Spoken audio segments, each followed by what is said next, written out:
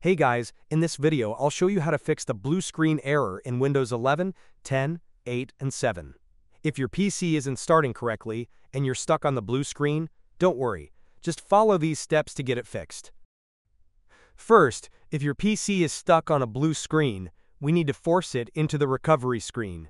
To do this, hold down the power button to turn off your computer, then turn it back on. As soon as you see the Windows logo, Immediately press the power button again to turn it off. Repeat this process three times. After the third time, your PC should boot into the recovery screen that says your PC did not start correctly. Click on Advanced Options to continue. Once in Advanced Options, click on Troubleshoot, then Advanced Options, and choose Startup Repair. Windows will attempt to diagnose and fix any startup issues automatically. This may take a few minutes. If your PC starts up normally after this, then your issue is fixed. If not, proceed to the next step.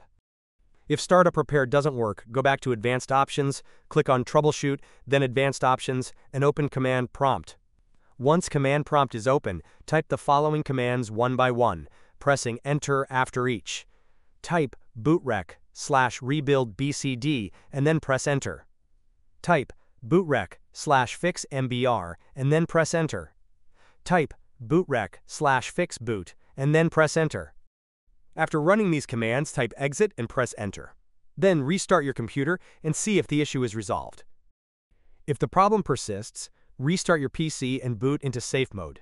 To do this, go back to Advanced Options, click Troubleshoot, then Advanced Options, and select Startup Settings. Click Restart, and when your PC restarts, press F4 to enter safe mode. Once in safe mode, open Control Panel. Open Programs and Features, and view installed updates.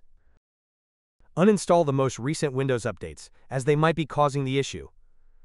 Next, check for any problematic drivers. Open the Start menu, search for Device Manager, and open it.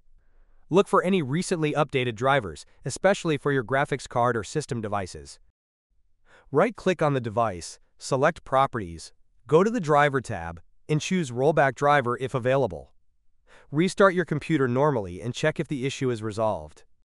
If Safe Mode doesn't fix the problem, go back to the recovery screen by repeating Step 1. Then, click on Troubleshoot, then Advanced Options. Select Uninstall Updates.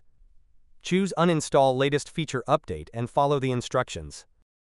If that doesn't work, you can also uninstall the latest quality update using the same steps. If none of these methods work, you may need to reset your PC. Go back to Advanced Options, click Troubleshoot, and select Reset this PC. Choose Keep My Files if you don't want to lose your personal data, or remove everything for a clean reinstall. Follow the on-screen instructions to reset Windows. And that's it, guys! One of these methods should help you fix the blue screen error.